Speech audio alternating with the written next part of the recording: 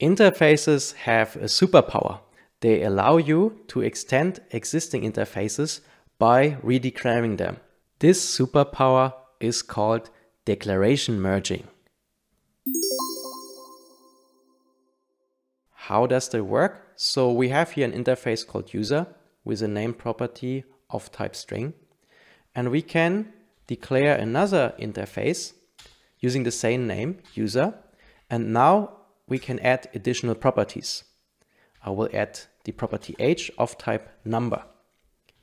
TypeScript will then be so smart and merge both declarations into one. So our user now needs to get a name and an age. I will show you that by creating a user called Benny. And when I now annotate here the user type, then TypeScript will ask us to provide a name and an age because it merged this declaration with the second one. So let's provide a name. In my case, that's Benny and an age, 35 right now. And then this contract here is fulfilled. And this shows how two declarations get merged into one. That's a very powerful technique. And that's also why the TypeScript team suggests to use interfaces over types.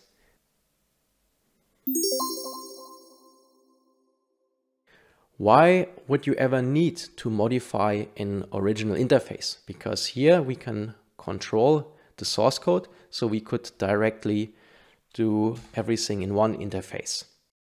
Well, there are cases where you want to modify interfaces that come from external packages.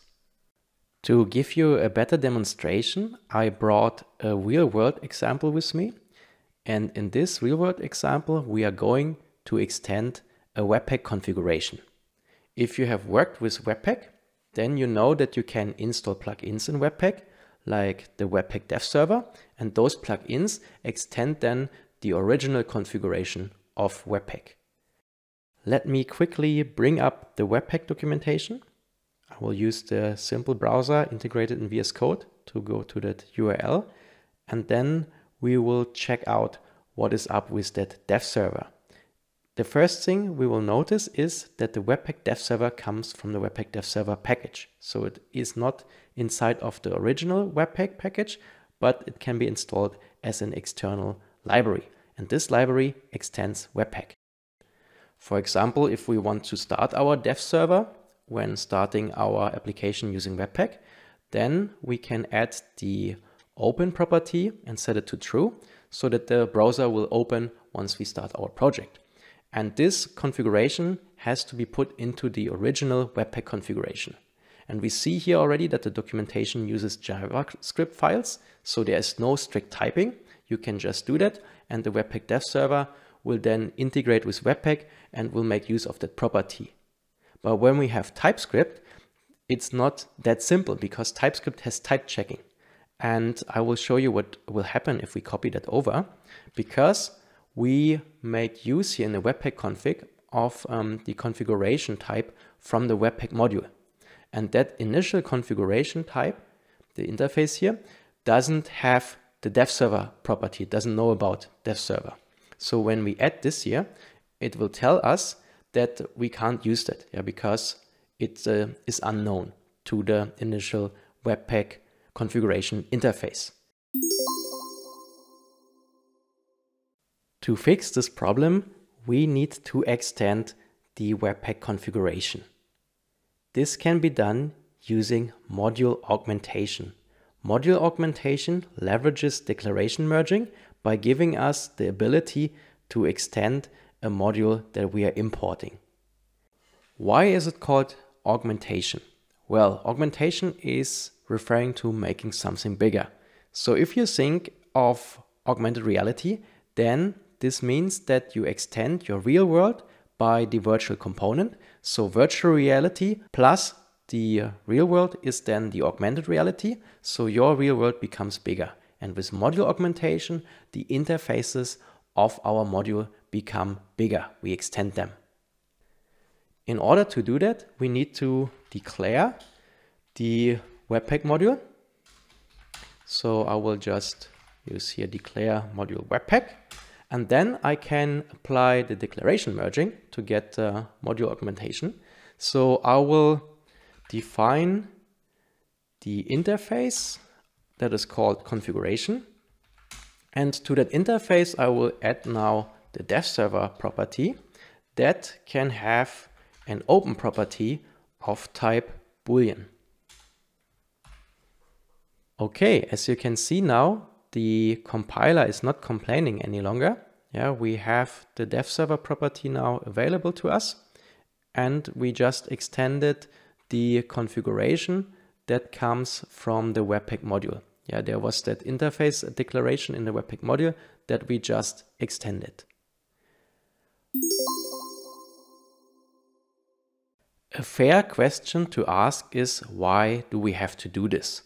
Why don't the developers behind the Webpack dev server integrate this declaration already in their package? Well, let's have a look at the Webpack dev server module. If we open here the Explorer, we can check the node modules. And in the node modules, we will find the Webpack dev server at the very end here.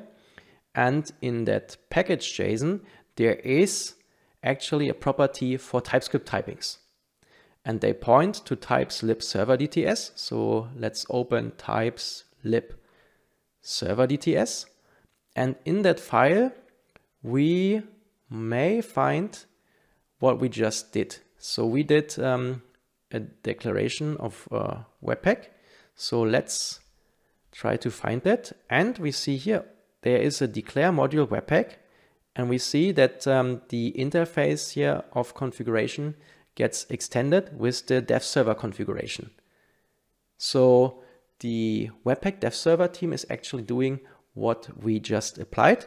So when we want to rely on their typings, we can simply remove our module augmentation and use theirs to make use of that um, declaration file. We need to import the Webpack dev server module. So we can just write here import Webpack dev server, and then we will get their typings and can also then add all the other attributes that are applicable to the dev server property.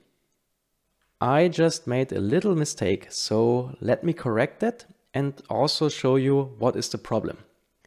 By putting an import statement here, we are getting the typings for the Webpack dev server, but TypeScript will also import the source code for the Webpack dev server. So we will get a real import on that module. To demonstrate that, I will compile the webpack config ts file. So let me just use my local TypeScript compiler and then I will give it the webpack config ts file. And in a bit, we will see the transpiled JavaScript output. So we can then see what is really happening with our import statement. So if we go to the webpack config.js file, we can see now that there is this require statement. That's more than we need because we just want the typings. How can we get only to the typings? Well, let's uh, first remove this line here and then we will of course see a problem that uh, webpack config um, doesn't know about the dev server. But fortunately, we can get some help from the Webpack dev server repository and its documentation. So if we go to the Webpack um, dev server GitHub repository, then we can first of all see that this project is written in pure JavaScript. So it's not TypeScript code right now. It's still 100% JavaScript, but fortunately it has types and it also tells us how to use the types. So if we check the with TypeScript section, then we see that they are also talking about the problem that the dev server property is by default not known to the configuration interface, but we can point TypeScript to the typings provided by the Webpack dev server by using this triple slash directive. This triple slash directive must be on top of our code. So we have to go here and put it in upfront the import statements we can't put it um, below because if I put it below, the code will break again. Yeah, so this must be really like in the first line. And then this triple slash directive will point to the server DTS file that we've seen already. And then this will extend our Webpack interface for the configuration. In proper TypeScript terminology, modules that export only types and no source code are called ambient modules. So we are importing here an ambient module. Why is it called an ambient module? Well, we are just importing types here. And the DTS file here doesn't export in implementation. So when we compile this code here, we won't get extra source code with it. With extra source code, I mean that, for example, before we got then this statement here, this require statement. If we use this import here, this uh, triple slash directive import, then we are just importing the typings without the code running behind it. You can think of it as if we would import an environment. So the TypeScript knows what is the environment from our typings. And when an environment comes into play, we can also think of an ambience. Yeah, how is the ambience in that environment? So maybe that helps you to recognize what ambient modules are. And to show you that they really don't bring any extra code to the transpiled output, I will run once more the compilation here. And if we open up the config.js file, we see that there is no more require webpack dev server. I hope this gave you a good overview of uh, module augmentation and declaration merging. So when you find yourself in cases where you need it, you will then know how to do it. And if you want to stay up to date with the latest and greatest about TypeScript, then just follow my TypeScript TV channel here on YouTube. If you subscribe, then you will get a notification when I release new content. Currently, I'm publishing new videos every Monday.